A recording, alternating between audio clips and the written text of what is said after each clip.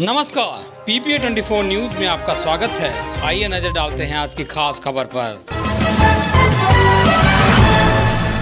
लखीमपुर घटना के विरोध में किसानों का रेल रोको आंदोलन, कई ट्रेनें रद्द। केंद्र सरकार के तीन कृषि कानूनों के खिलाफ किसानों का आंदोलन जारी है। इसी बीच संयुक्त किसान मोर्चा ने आज सोमवार यानी 18 अक्टूबर को लखीमपुर हिंसा के मामले में केंद्रीय गृह राज्य मंत्री अजय मिश्रा की बर्खास्तगी और गिरफ्तारी की मांग को लेकर रेल रोको आंदोलन का ऐलान किया है। ऐसे में इसके चलते कई ट्रेनें प्रभावित रहेंगी।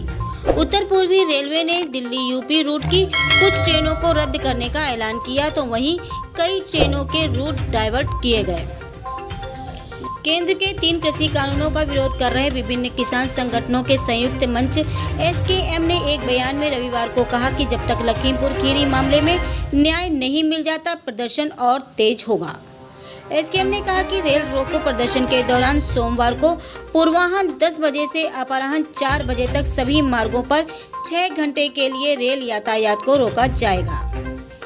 बयान में कहा गया कि गृह राज्य मंत्री अजय मिश्रा को बर्खास्त एवं गिरफ़्तार करने की मांग को लेकर संयुक्त किसान मोर्चा ने 18 अक्टूबर को राष्ट्रव्यापी रेल रोको कार्यक्रम की घोषणा की है, ताकि लखीमपुर खीरी जनसंहार में न्याय मिल सके।